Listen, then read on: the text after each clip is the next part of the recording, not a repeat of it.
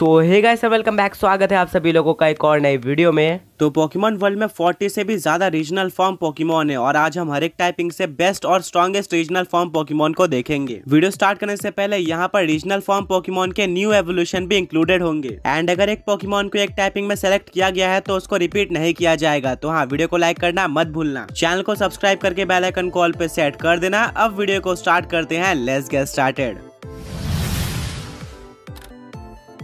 Start करते हैं normal typing के साथ। ये पोकेमोन वर्ल्ड की सबसे बेसिक टाइपिंग है। नॉर्मल टाइप का सबसे बेस्ट रीजनल फॉर्म होगा जोरवार की अपने बेस फॉर्म में प्योर डार्क टाइप का होता है। बट आगे जाके ओल्ड सिनो यानी कि हिसु रीजन में इसको एक हिसुयन फॉर्म मिलता है, जो की एक नॉर्मल और घोष टाइप पोकेमोन हिसुयन जोरवार्क है। इसकी टाइपिंग काफ़ी अच्छी है, इसके बेस स्टैट है फाइव साथ में इसके पास काफ़ी स्ट्रॉन्ग अटैक्स भी है। नेक्स्ट टाइपिंग है फायर टाइप फायर टाइप का सबसे स्ट्रॉन्ग रीजनल फॉर्म पोकेमोन होगा टाइफ्लोजन ये जनरेशन टू यानी कि जोटो रीजन का एक फायर टाइप स्टार्टर पोकीमोन है। आगे जाके ओल्ड सिनो यानी कि हिसुई में। इसको भी एक रीजनल फॉर्म मिलता है जो कि था हिसुयन टाइफ्लोजन जहाँ पर इसके डिज़ाइन चेंज हो जाती है। और ये एक प्योर फायर टाइप पोकीमोन से फायर और घोष टाइप पोकीमोन बन जाता है।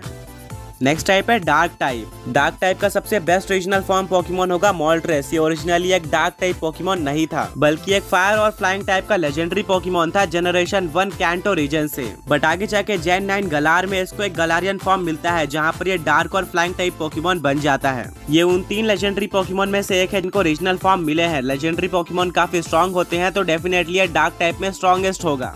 नेक्स्ट टाइपिंग है फाइटिंग टाइप फाइटिंग टाइप का सबसे बेस्ट ओरिजिनल फॉर्म पोकेमोन होगा जैपडोस ओरिजिनली एक इलेक्ट्रिक और फ्लाइंग टाइप का लेजेंडरी पॉकीमोन था जनरेशन वन कैंटो रीजन से. पर आगे जाके जेन एट गलार में ये दूसरा लेजेंडरी पॉकीमोन बनता है जिसको ओरिजिनल फॉर्म मिला था, जो की था गलारियन जैपडोस ये फाइटिंग और फ्लाइंग टाइप का काफ़ी ज़्यादा स्ट्रॉन्ग पोकेमोन है।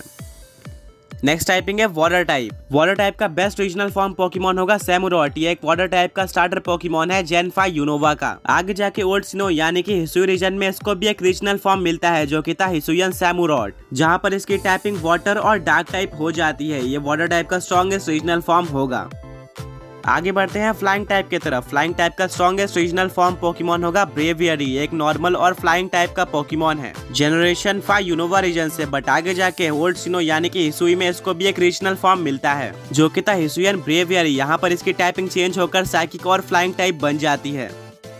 ग्रास टाइप यहाँ का सबसे स्ट्रॉन्ग पोकेमोन होगा डेसिडवाई डेसिडवाई अपने ओरिजिनल फॉर्म में ग्रास और घोष टाइप का स्टार्टर पोकीमोन है जेन सेवन अलोला का। बट पहले के टाइम में डेसिडवाई कुछ इस तरह का दिखा करता था, जो की था हिसुयन डेसिडवाई इसकी टाइपिंग ग्रास और फाइटिंग टाइप है और ये हिसु रीजन का स्टार्टर पोकीमोन है।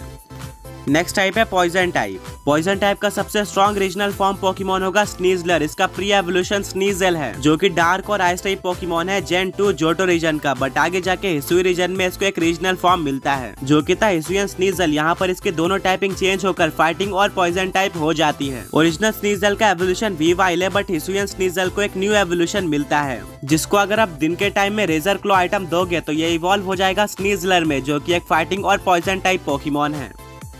आगे बढ़ते हैं इलेक्ट्रिक टाइप के तरफ़। यहाँ का सबसे स्ट्रॉन्ग रीजनल फॉर्म पोकेमोन होगा गोलम गोलम एक कैंटो का पोकेमोन है, जहाँ पर इसकी टाइपिंग रॉक और ग्राउंड टाइप थी बट आगे जाके अलोला रीजन में। इसको एक रीजनल फॉर्म मिलता है, जो की था अलोलन गोलम यहाँ पर इसकी टाइपिंग बिल्कुल अपोजिट हो जाती है, जो की है रॉक और इलेक्ट्रिक टाइप ये काफ़ी अच्छी टाइपिंग है, जिससे ये काफ़ी स्ट्रॉन्ग पोकेमोन बन जाता है। नेक्स्ट है ग्राउंड टाइप ग्राउंड टाइप का सबसे स्ट्रॉन्ग पोकेमोन होगा रनर रनरिगस इसका प्री एवोल्यूशन है यमास जो कि एक घोस्ट टाइप पोकेमोन है जनरेशन फाइव यूनोवा रीजन से बट आगे जाके गला रीजन में इसको एक रीजनल फॉर्म मिलता है, जो कि एक ग्राउंड और ghost type Pokemon Galarian Yamask originally Yamask Cofagrigus में इवॉल्व होता था बट गलारियन यमास इवॉल्व हो सकता है रनर रनरिगस में, जो की एक ग्राउंड और घोस्ट टाइप का पोकेमोन है। नेक्स्ट है साइकिक टाइप साइकिक टाइप का सबसे स्ट्रॉन्ग रीजनल फॉर्म पोकेमोन होगा आर्टिकोनो ये थर्ड और लास्ट लेजेंडरी पोकेमोन है जिसको रीजनल फॉर्म मिला था. आर्टिकोनो ओरिजिनली एक आइस और फ्लाइंग टाइप का. लेजेंडरी पोकेमोन है जनरेशन वन कैंटो रीजन से बट आगे जाके जेनेट गलार में. इसको एक साइकिक और फ्लाइंग टाइप का रीजनल फॉर्म मिलता है, जो की है गलारियन आर्टिकोनो ये काफ़ी स्ट्रॉन्ग पोकेमोन है। आगे बढ़ते हैं रॉक टाइप के तरफ़. रॉक टाइप का सबसे स्ट्रॉन्ग रीजनल फॉर्म पोकेमोन होगा आर्कनाइन ये एक प्योर फायर टाइप का पोकेमोन है जनरेशन वन कैंटो रीजन से. बट आगे जाके इसको ओल्ड सिनो यानी कि हिसुई रीजन में. हिसुयन फॉर्म मिलता है जो कि था हिसुयन आर्कनाइन जहाँ पर इसकी टाइपिंग फायर और रॉक टाइप हो जाती है. यह आर्कनाइन का ओरिजिनल फॉर्म है. पहले के टाइम में आर्कनाइन कुछ इस तरह के ही दिखा करते थे. ऑल्सो आर्कनाइन एक लेजेंडरी पोकीमोन होने वाला था, जिससे आप लोग इसके पावर का अंदाज़ा लगा सकते हो. नेक्स्ट टाइप है आइस टाइप आइस टाइप का सबसे स्ट्रॉन्ग रीजनल फॉर्म पोकेमोन होगा मिस्टर राइम इसका प्री एवोल्यूशन है मिस्टर माइम जो कि साइकिक और फेरी टाइप का पोकेमोन है जनरेशन वन कैंटो रीजन से बट आगे जाके जनरेशन एट गलार में। इसको एक रीजनल फॉर्म मिलता है जो की था गलारियन मिस्टर माइम यहाँ पर इसकी टाइपिंग आइस और साइकिक टाइप हो जाती है। साथ में इसको एक न्यू एवोल्यूशन भी मिल जाता है। गलारियन मिस्टर माइम लेवल 42 पर जाकर इवॉल्व हो सकता है मिस्टर राइम में, जो कि एक आइस और साइकिक टाइप पोकीमोन है। ये दिखने में उतना स्ट्रॉन्ग नहीं लगता but Ash versus Leon battle में देखने को मिलता है कि ये कितना ज़्यादा स्ट्रांग है। नेक्स्ट टाइपिंग है बग टाइप ये काफ़ी वीक टाइपिंग है और ये पोकेमोन वर्ल्ड की एक लौती ऐसी टाइपिंग है, जिसका अभी तक कोई भी रीजनल फॉर्म पोकेमोन इंट्रोड्यूस नहीं करवाया गया है। तो आगे बढ़ते हैं ड्रैगन टाइप के तरफ़। ड्रैगन टाइप का सबसे स्ट्रॉन्ग रीजनल फॉर्म पोकेमोन होगा एग्जीक्यूटोर का। ये ओरिजिनली एक जेन वन कैंटो का पोकेमोन है, जिसकी टाइपिंग साइकिक और ग्रास टाइप है। बट आगे जाके जनरेशन सेवन अलोला रीजन में इसको एक अलोलन फॉर्म मिलता है, जो की अलोलन एग्जीक्यूटोर इस फॉर्म में आने के बाद इसकी हाइट काफ़ी ज़्यादा बढ़ जाती है, क्यूँकी अलोला रीजन में काफ़ी अच्छी सनलाइट है। इसकी टाइपिंग ग्रास और ड्रैगन टाइप है।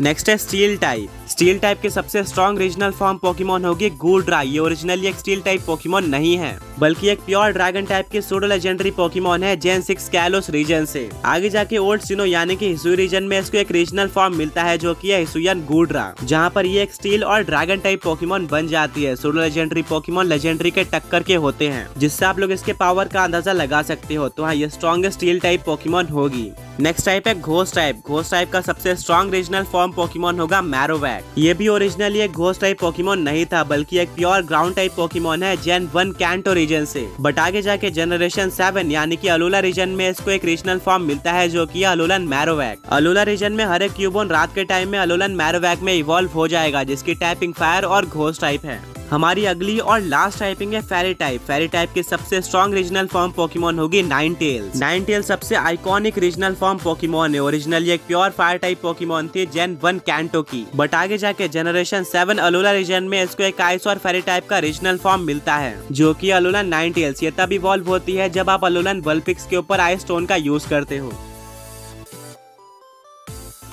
वेल तो गैस यही था आज के इस वीडियो में। अगर आपको वीडियो पसंद आई है तो लाइक करना मत भूलना। साथ में चैनल को सब्सक्राइब करके बेल नोटिफिकेशन को ऑल पे सेट कर देना। एंड हाँ दोबारा मिलेंगे एक और ऐसे औसम वीडियो के साथ। Until then peace out